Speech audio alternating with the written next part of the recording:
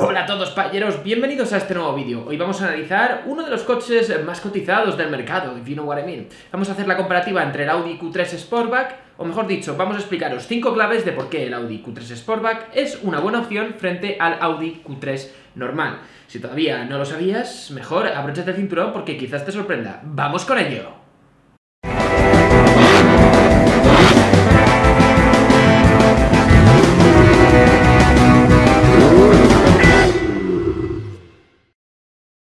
El Audi Q3 Sportsback.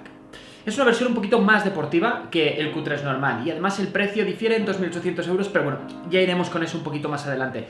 Empecemos con las 5 claves y la primera de todas es el diseño. Y es que el diseño se puede ver desde el primer momento que en el Audi Q3 Sportback tenemos un diseño con una carrocería un poquito más deportiva, una parrilla más agresiva, llantas más grandes, de más pulgadas y además también con un diseño más deportivo.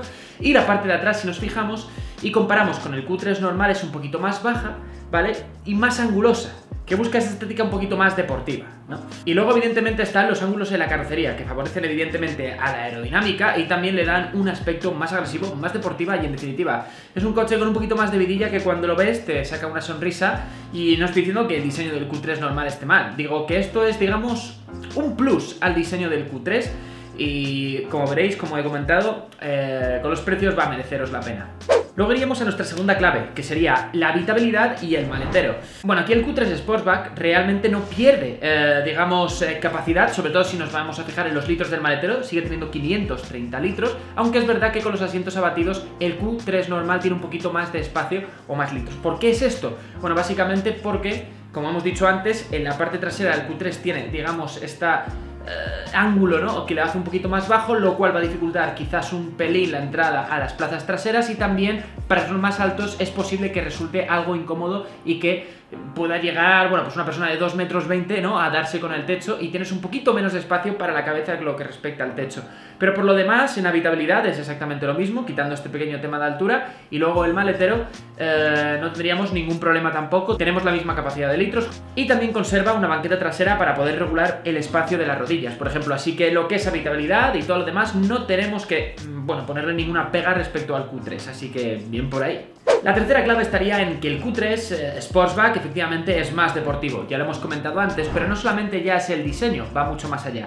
El Q3 Sportsback viene incluido con tres eh, opciones que digamos serían opcionales en el Audi Q3 normal y en el Q3 Sportsback vienen de serie. Vienen a ser la suspensión deportiva, la dirección progresiva o el Audi Drive Select te permite elegir distintos programas, lo cual siempre se agradece. Al final el enfoque de Audi es darle un aspecto más dinámico al Q3 Sportsback y básicamente dándonos estos tres elementos que son opcionales en la versión normal y dándolos por defecto en esta versión, la verdad que merece bastante la pena. Luego, evidentemente, el cuarto punto o la cuarta clave sería el precio. Y aquí es donde realmente yo creo que vais a fijaros porque para empezar, el Audi Q3 ya normal no, no es un coche barato. Si comparamos versiones de normal con el Sportsback con el mismo motor, la diferencia está en 2.850 euros. Puede parecer mucho la diferencia, sobre todo si tenemos en cuenta eh, que el Audi Sportsback nos está dando sobre todo una estética más deportiva y unos extras de serie que en total serían 900 euros. Pero bueno, ya si quitamos esos extras de serie que querrías incluir en el Q3 normal, ya son 900 euros menos al precio total, lo cual ya se te quedan 2.000 euros de diferencia, 1.900 y pico. Así que en realidad por 2.000 euros más, en el caso de que quisieras los extras para el Q3 normal, te podrías hacer con un sub, con una estética bastante más deportiva, con ese rollo un poquito más modernito y bueno, al final con un pedazo de coche que creernos, lo hemos probado y nos ha encantado. Al final Sportsback es una versión un poquito más dinámica, más radical, más juvenil, más eh, tiene un poquito más de salsa, un poco más de fuego. Así que yo creo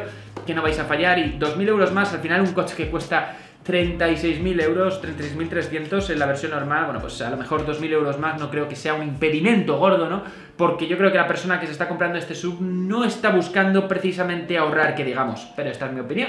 Y luego estaría la quinta y última clave, muy importante, que son los paquetes opcionales. Estos paquetes opcionales también los podemos encontrar en la versión normal. Estamos hablando del paquete opcional, por ejemplo, Advance o el paquete S-Line, con llantas de 20 pulgadas, asientos deportivos, iluminación, bueno, un poquito todas esas pijerías que a todos nos gusta ver. Al final, eh, bueno, pues es hacerse la pregunta, ¿merece la pena o no pagar 2.000 euros más o 2.900 en el caso que no quisierais los extras por haceros con la versión Sportsback? Bueno, la respuesta es la siguiente. Si buscáis un sub con unas características un poquito más deportivas, con un aspecto más diferenciador, más agresivo, más deportivo y con mejores sensaciones dinámicas, aunque realmente no cambia demasiado en ese último aspecto, sí, merece la pena. Y sobre todo, sí, no os importa gastaros 2.000 euros más o 2.900, ya os vendría equipado con los extras que os hemos comentado y yo creo que es una gran opción. Luego además podéis ponerle los paquetes opcionales que vosotros queráis, porque además si vas a incluir por ejemplo 4.800 euros más, que es lo que cuesta eh, introducir el paquete S-Line al Q3 base, pues hombre, ahí ya te estás gastando bastante pasta, pues los 2.000 euros más que te ofrece el Sportsback o 2.800 eh, yo creo que son un gran aliciente que todavía va a apetecer un poquito más, ¿no? Eh, conducir el coche te va a gustar, yo creo que un poquito más. Bajo mi punto de vista, ¿yo qué haría si tuviera el dinero? Sinceramente, no sé si cogería el paquete S-Line. Evidentemente, si tengo el dinero suficiente, sí que lo pillo.